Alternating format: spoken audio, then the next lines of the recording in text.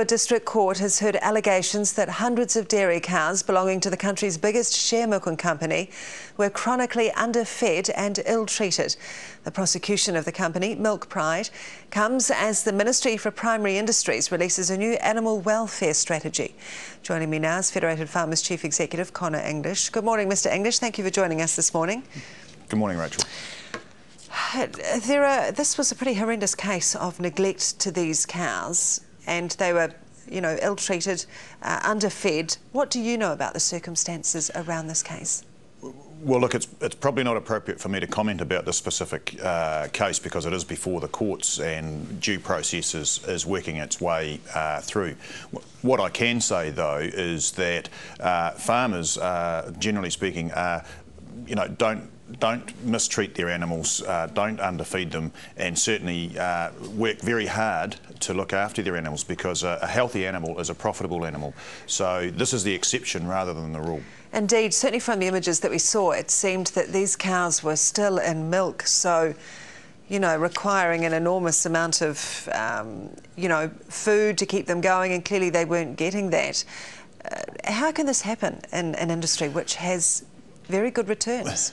Well, well, look, as I say, um, our animal welfare uh, record is actually fantastic in New Zealand and we are recognised globally as right up there as having the best animal welfare practices, you know, on the planet. So there is, you know, there is going to be an exception, I, I guess, uh, from time to time and, and, for, for a range of reasons. But one of the things that we've seen recently, Rachel, with the um, drought has been a challenge for animal welfare because we have been short of water uh, to, to, for, for, animals to drink and we have been short of grass for, for for animals to eat. And, and, one of the things that New Zealanders can be reassured is that our farmers have put enormous uh, energy, effort and money into ensuring that their animals uh, continue to be well fed and, and continue to be looked after well. Yes, I mean the images we did see of these cows, it did look like they had um, had sustained neglect. I think the farmer suggested it was because there'd been a couple of days of, uh, of snow. But do you think people need to be more upfront about reporting these situations? For example, there must have been you know, someone who mm. drove a,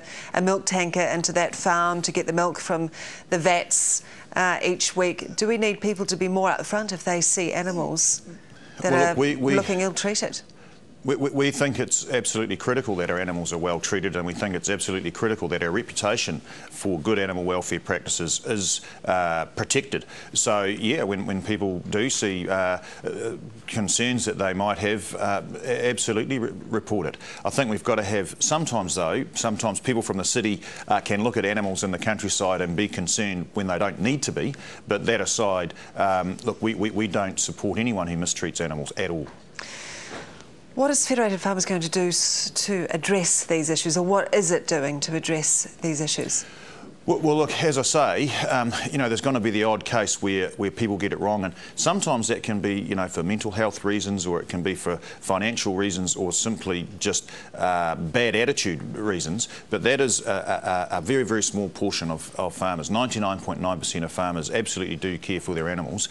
Uh, having said all that, you know, we can always continue to, to improve, and Minister Guy, our, our primary sector minister, came out with a new strategy uh, last week, and that's looking to refresh refresh uh, the Animal Welfare Act. And it's important to note that this um, isn't just uh, targeted at uh, rural, uh, the rural situation and farmers. Uh, also, the people in our cities who have companion cats and dogs sure. Uh, are also going to be un under the review as well. Okay, let's just touch quickly on the drought because um, many of the urban centres have had a lot of rain in the last 48 hours. Yeah. How have farmers fared in, in some of those drought-hit areas?